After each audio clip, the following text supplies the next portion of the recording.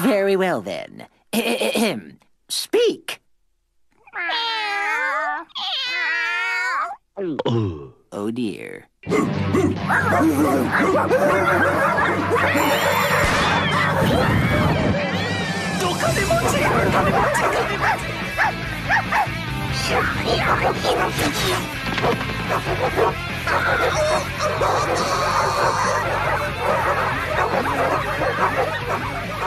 That's the last time I listened to you guys.